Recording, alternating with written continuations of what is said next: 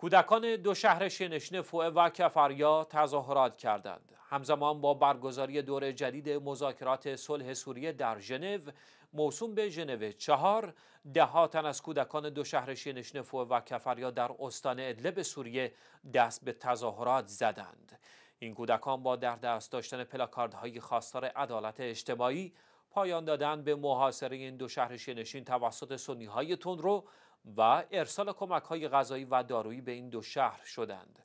گفتنی فوه و کفریا دو شهر شیعه سوریه از اوایل نارامی های این کشور در مقابل چشمان جهانیان تحت شدیدترین محاصره غیر انسانی سنی های تندروی جبهت و نصره قرار دادند. طی این مدت هزاران تن به دلیل گلوله باران این دو شهر شهید و زخمی شدند و بسیاری از مردم مظلوم این دو شهر به دلیل کمبود یا نبودن دارو جان باختند تا کنون مدعیان دفاع از حقوق بشر در سطح بین الملل هیچ اقدامی عملی و یا امید بخش برای نجات مردم این دو شهر انجام ندادند.